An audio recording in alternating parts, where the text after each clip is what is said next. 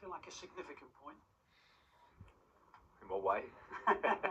uh, it's a point. It's the first point on the board. We've deserved points in our first two games. In my opinion, the performances deserve more. I thought we deserved to win today. And that's not to say that Forest didn't compete. They're a team full of good players now, a really good coach, momentum of coming up into the league. We saw that last week. But when we create 19 chances at home, when we have the quality of chances that we had, it's very difficult to gain um, control and real confidence in the game if you're not taking those chances. So the, that affects the game, and we're not doing that at the moment in terms of performance. Take a point, but we could have got more. I think the reason I use the word significant is because you were pretty unfortunate in the first two matches in many ways, and that's why it must feel like it's a, a real point gained. Well, yeah, one there was a point gained going into the game. We want to win. As I said, if you tell you're going to create 19 chances today, then you go, okay, You should probably score at least two goals and, and maybe more. So, yeah, things are not dropping. You know, balls firing around in their box, shots hits them on the body, hits them on the feet, hits them on the knee. Um, you know, we're going through at the end. Good opportunities to score goals and we don't take them. And Forest had a couple themselves, but we certainly had the better of them, in my opinion.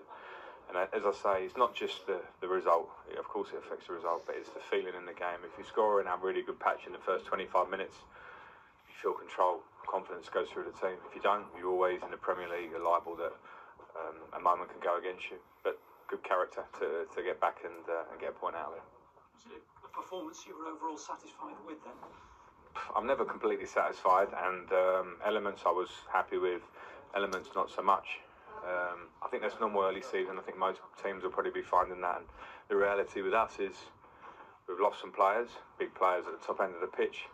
One's injured, and um, Richarlison left. We're looking to to to correct that quickly and, and make it work quickly. That's not easy.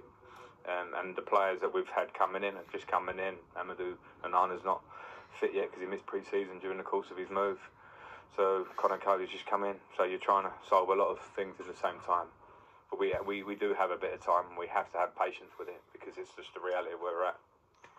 There seems a simplicity in the goal, but is it something that you kind of noticed that you observed maybe about a way to break Forest down, perhaps? Yeah, yeah, and with Jordan's quality and with the the speed in our game, we have to be an option. You know, it's, it's not a bad thing to play quality balls over a high line, and and sometimes I think players turn away from it and think that in the modern day you have to play short all the time. You absolutely don't. So it was good to see sometimes, and the players have to take that in as well. When you talk about things like that, and they do it, and they see the, the results of it, not just the goal, but what that does to defenders, the fear of the ball in behind, has to be a part of our game. Just a final thought. Crowd felt you might go on and win that after the equaliser. Did you? Yeah, and we probably had a couple of good, fair, fair chances, corner and, and Anthony at the end. On another day, you just score goals, and um, but we know it's an area of the pitch that we, we want to improve on. We have the window open, and we have to try and, and improve because saw it last week. A game that we really competed in. Um, scores, Ollie Watkins creates, um, and then today Brennan Johnson scores on, on the one chance he really has. So we need to look at that area of the pitch for sure.